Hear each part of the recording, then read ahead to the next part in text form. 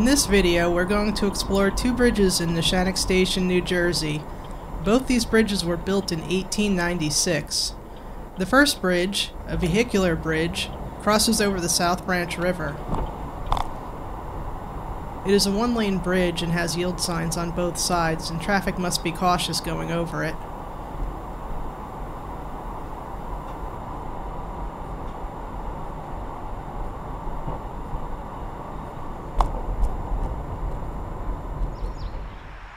There's a small trail leading to the river. Some people use this to launch kayaks, and there is a walking trail that parallels the river, and I'm not sure how far it goes. I found some interesting clamshells along this river of some native species that are very, very small, and I, of course, had to bring a few of them home. I enjoyed this area very much. I spent a lot of time here when I was a kid. We used to go to the flea market that used to be down here uh, alongside the river, and I'm not sure if they still do that, but I do see that some of this has been converted to a park, and we're going to explore that with the train bridge later.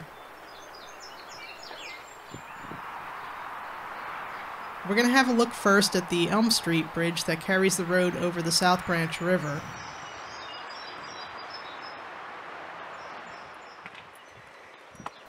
Here at the entrance of the bridge is a portal that's welded on and has been built roughly around 1930 and is a later addition to the bridge.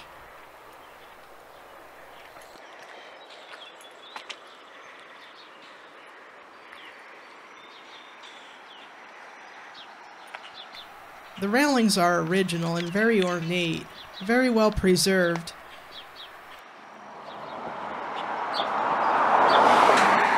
This bridge underwent rehab twice in my lifetime, once in 1983-84 and again in 2007 when it was completely dismantled, repaired, and put back together.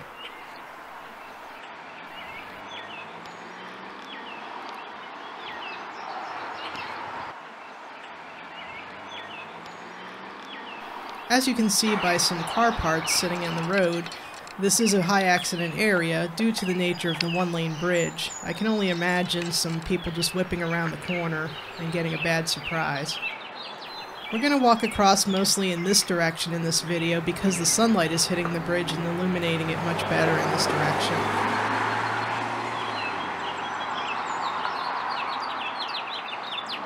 I tried to highlight some of the key features of this bridge, including some of the uh, including some of the tension members, which seem very thin, but apparently the engineers knew what they were doing. This is a lenticular truss bridge, uh, nine panel. I really wish I knew what some of that stuff means, but of course, for my and your reference, I have included some links to bridge information at the bottom of this video in the description.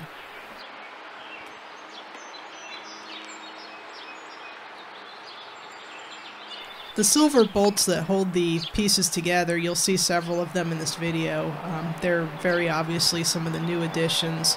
Uh, the underside of this bridge has also been greatly modified, which some people think took away from some of the historic character.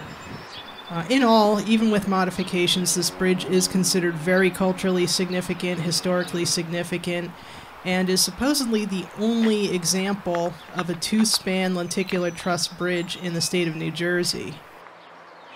Unlike a lot of bridges that you've seen in other videos that I've done, this one has a paved surface, the bridges that cross the Delaware that I've highlighted before have an open grate construction, and I, one thing I noticed walking across this bridge as traffic went by is it did not shake. It didn't shake at all. It was a very strong and sturdy bridge, very well built.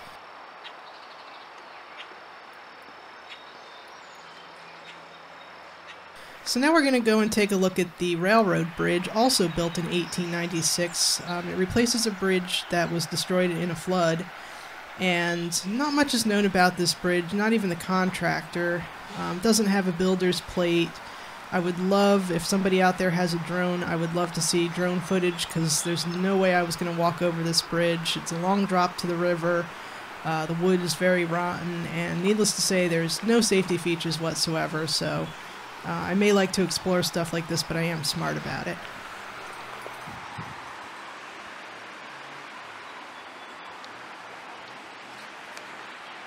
I'm not sure exactly when this bridge closed. I know the railroad itself ran through at least 1953.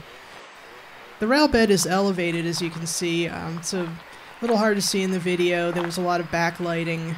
Um, I, I could only see part of this bridge, but I was very entertained by this tree. Uh, very mature tree growing up between the ties, meaning this bridge has been derelict and deserted for decades upon decades. To my knowledge, it was deserted somewhere around the 70s. It originally carried the South Branch Railroad and the uh, Jersey Central or CNJ.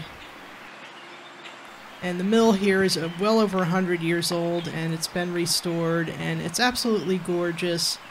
And the entire scene here at the river with the two bridges actually is very much a throwback to the 19th century, which, you know, people who come through here really can appreciate.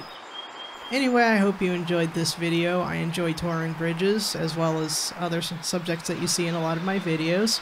Thanks for watching, and be cool, be kind, and be courageous. Peace out.